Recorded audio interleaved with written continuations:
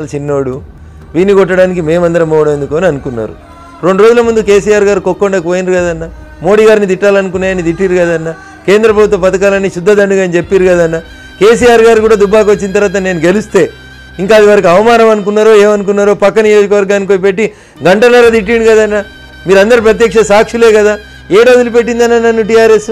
ఏ కోణంలో వదిలిపెట్టలే? నన్ను వదలలే నా కుటుంబాన్ని వదలలే. ఆఖరికి పసిగుడైన నా మన్మరాలను కూడా వదలకుండా పోలీసు వాళ్ళు ఇచ్చేసారు మీరే అన్నారు టైర్లు ఇప్పిరు ట్యూబ్లు ఇప్పిరు సీలింగ్ ఇప్పిరు ఇంజన్ కూడా ఇప్పి కింద పెట్టిర్రు అన్న. గన్నిప్తే కూడా రూపాయి దొరకలేదు ఆ కారు లోపల? ఎంత దరిద్రంగా వివరించారు పోలీసు వాళ్ళు? ఎంత అత్యుత్సాహాన్ని ప్రదర్శించారు కొన్నిసార్లు ప్రజలు దీన్ని స్వాగతించారన్న. ప్రజలకి ఇట్లాంటి పనులు చేయడం వల్ల ఒక్కడు చేసి బక్కపల్స్టోన్ చేసి పోరని ఒక్కడిని చేసి వీళ్ళందరూ కలిసి తొక్కుతున్నారనేటువంటి అభిప్రాయాన్ని పోలీస్ యంత్రాంగం నిర్మించిందన్న. దానివల్ల ఏం జరిగింది? నిర్బంధాలు ఉంటే ఉద్యమాలు వస్తాయి. నిర్బంధాలు ఉంటే పోరాటాలు వస్తాయి. నొప్పులు వస్తేనే తల్లి డెలివరీ కానీ రఘునందన్ రావు డెలివరీ కానీ- ఇంత వేధించినా కేసీఆర్ టచ్లో ఉన్నాడు రఘునందన్ ఇప్పటికీ. ఇప్పుడు అసెంబ్లీలో మీరు కనబడేటప్పుడు గౌరవ ముఖ్యమంత్రిగా మీరు కనబడితే సభ్యత సంస్కారం తెలిసిన వ్యక్తిగా నమస్కారం పెడతాను. అది నా సంస్కారం నాకు నా తల్లిదండ్రులు నాకు విద్య చెప్పిన గురువులు నేర్పించారని అనుకుంటాను. ఎవరైనా పక్కపాటి గౌరవ శాసనసభ్యులు కనబడ్డా అంతే వినయంగా మాట్లాడతాను. నాకంటే సీనియర్లు ఎవరైనా కనబడితే లేచి నిలబడి నమస్కరిస్తాను. ఇది నా సంస్కారం. ఇంకా దాన్ని కూడా ఎవరైనా తప్పు పట్టాలనుకుంటే అది వారి విఘ్నత. కే దుబ్బాక అభివృద్ధి కేసీఆర్ బాగానే సహకరిస్తున్నాడు నిధులు ఇస్తున్నాడు రఘునందన్ రావుకి. ఒక రూపాయి ఇవ్వకుండా నన్ను ఎన్ని రకాలు హ్యూమిలేట్ చేయాలనో అన్ని రకాలు హ్యూమిలేట్ చేస్తూ ఉన్నారు. ఇవ్వాల్సిన పైసలు కూడా నేను ఇచ్చిన దరఖాస్తుల్ని వాళ్ళ పార్టీ వాళ్ళు ఇచ్చిరని రాసుకొని దరఖాస్తుల మీద ఇచ్చుకుంటున్నారు. బట్ నేను అదే కోరుతా ఉన్నా నూట పంతొమ్మిది నియోజకవర్గాలని ఒక రకంగా చూడాల్సిన తండ్రి స్థానంలో ఉన్నటువంటి ముఖ్యమంత్రి గారు. మూడు నియోజకవర్గాలని బంగారు బాతులుగా మార్చి మిగతా నియోజకవర్గాలను ఎండబెడుతున్నారు. నాలంటోడు నోరున్నోడు మాట్లాడేటోడు ప్రశ్నించడోని సంపాలన చూస్తున్నారు. ఇది మంచి పద్ధతి కాదు ముఖ్యమంత్రి గారని నేను వారికి చెప్పాలనుకున్న అసెంబ్లీలో అవకాశం ఇచ్చిన ప్రతిసారి ప్రశ్నించిన ఈ రోజు దాకా ఈ శాసనసభలో తెలంగాణ శాసనసభలో అయ్యా ముఖ్యమంత్రి గారు మీరు చేస్తుంది తప్పు అని లేచి చెప్పినోడు ఎవడైనా ఉన్నాడంటే అది రఘునందన్ ఒక్కడే సీన్ పెట్టి ధైర్యంగా చెప్తా నేను. దండం పెట్టి ధైర్యంగా చెప్తా నేను అది. జయ జయ తెలంగాణ. జయ జయ హే తెలంగాణ జననీ జయ కేతనం అనే పాట తెలంగాణ రాష్ట్రీయ గీతం ఎందుకు కాలేకపోయింది ముఖ్యమంత్రి గారు అని అడిగిన దమ్మున్న ఒకే ఒక ఉద్యమకారుని అంటున్నారు కానీ ఛాంబర్లో దండం పెట్టి దరఖాస్తు ఇచ్చారా? దండం పెట్టి ఆనవాయితీ ఏందనేది మీకు సీనియర్ జర్నలిస్ట్గా మీకు తెలుసు. అసెంబ్లీ ముగిసే ముగిసే రోజు దాదాపు అందరు ప్రతిపక్ష ఎమ్మెల్యేలని చాంబర్కి పిలుచుకొని కలుస్తారు. దాంట్లో జగ్గారెడ్డి గారు ఉంటారు కోమటిరెడ్డి గారు ఉంటారు గీతారెడ్డి గారు ఉంటారు రఘునందన్ రావు గారు ఉంటారు రాజాసింగ్ గారు ఉంటారు. రాజాసింగ్ గారు సీనియర్ మా శాసనసభ పక్ష నాయకుడు. వారు వెళ్ళి ముఖ్యమంత్రి గారిని కలిసి మనకు కావాల్సిన ఇచ్చేద్దాం వెళ్దాం పా అంటే వారు వెనకాల నేను వెళ్ళినాను. నేను ఇందాకే చెప్పిన ముఖ్యమంత్రి గారు కనబడితే మీరు నమస్కారం పెట్టరా? మీరు పెడతారో పెట్టరో మీ సంస్కారం ఏందో నాకు తెలియదు కానీ నేనైతే పెడతా నేను. అది నా సంస్కారం అనుకుంటా.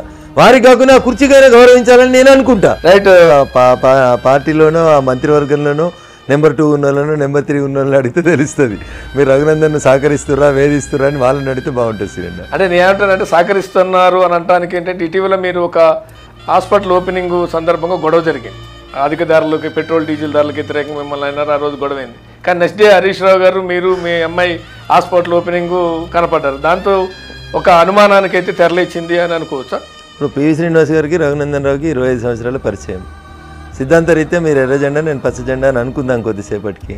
అయితే నేను ఏదైనా ఒక నా కూతురుకు సంబంధించిన ఒక ఫంక్షన్ నా ఇంట్లో ఏదో ఫంక్షన్ ఉంది అనుకోండి.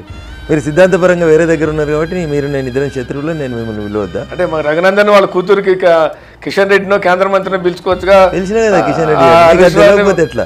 మీరు ఇన్విటేషన్ చూడకపోతే ఎట్లా? దాంట్లో ఇన్విటేషన్ చూడకపోతే జనాలు వీడియోలో కిషన్ రెడ్డి గారు కిషన్ రెడ్డి గారు ఆ రోజు ఉదయం అమిత్ షా గారు పిలవడం వల్ల ఢిల్లీకి పోవడం వల్ల వీడియో కిషన్ రెడ్డి గారు ఆసుపత్రి. ప్రారంభోత్సవం కిషన్ రెడ్డిని పిలిచారు. లేలే ఇప్పుడు సంబంధిత ఎంపీగా హాస్పిటల్ నేను నా కూతురిది ప్రారంభించినప్పుడు ఆ ప్రాంతానికి ఎంపీ గౌరవనీయులు కేంద్ర మంత్రి కిషన్ రెడ్డి గారిని పిలిచా. ఆ ఏరియాకు మంత్రి తలసాని శ్రీనివాస్ యాదవ్ గారు వారిని పిలిచా. ఆరోగ్య శాఖ మంత్రిగా వారిని మా వియ్యంకుల వారు గిట్ట పిలుచుకున్నారు. వారు ఆరోగ్య శాఖ మంత్రి. What is wrong in it నన్ను కూడా పిలిచిర్రు. నాలుగు రిబ్బన్లు కట్టేసే దగ్గర నేను ఒక గెస్ట్ని కదా సీనన్న. నా కూతురు అయినప్పుడు కూడా ఒక హాస్పిటల్ ప్రారంభోత్సవానికి నలుగురిని పిలిచిర్రు. అందులో ఇద్దరిని బీజేపీ వాళ్ళని పిలిచిర్రు ఇద్దరిని టీఆర్ఎస్ ఎందుకు తలసాని శ్రీనివాస్ యాదవ్ గారు ఉన్నారు? మాగంటి గోపీనాథ్ గారు వచ్చినారు. So I don't feel that there is something wrong in it అన్న ఇప్పుడు ఈ కల్చర్ని పాడు చేసింది టీఆర్ఎస్ పార్టీ. కానీ ఇంతకుముందు మీరు అర్థం చేసుకుంటే రాజశేఖర రెడ్డి గారి ఇంట్లో విందు వినోదాలు ఉంటే చంద్రబాబు నాయుడు గారు వెళ్తారు. చంద్రబాబు నాయుడు గారి ఇంట్లో ఏమన్నా ఫంక్షన్స్ అట్లాంటివి ఉంటే రాజశేఖర రెడ్డి వెళ్తారు కాంగ్రెస్ ఎమ్మెల్యే వెళ్తారు. టీఆర్ఎస్ పార్టీ వచ్చినాకనే they killed the beauty of the democracy Uttam Kumar Reddy గారి ఇంట్లో ఏదైనా ఫంక్షన్ ఉంటే వారు వెళ్ళి కేసీఆర్ గారిని పిలవలేదా? పిలుచుకున్నారు కదన్న నేను ఒక్కనే విలువలేదు ఇన్ఫాక్ట్ నాకు ఒక్కతే కూతురు అయితే కూడా దాని వివాహానికి రమ్మని చెప్పి నేను టీఆర్ఎస్ పెద్దల్ని ఎవరిని పిలవలేదు. ఇంత నిజాయితీ ఉంటే కూడా just been born in that caste నన్ను బ్లేమ్ చేస్తామని ఎవరన్నా అనుకుంటే వారి విఘ్నత.